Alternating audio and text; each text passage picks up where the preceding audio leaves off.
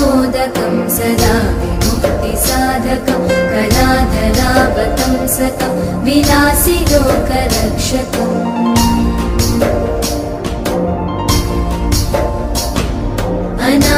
अनायकैकनायकं विनाशिते भदैत्यकं नताशुभाशुनाशकं नमामि तं विना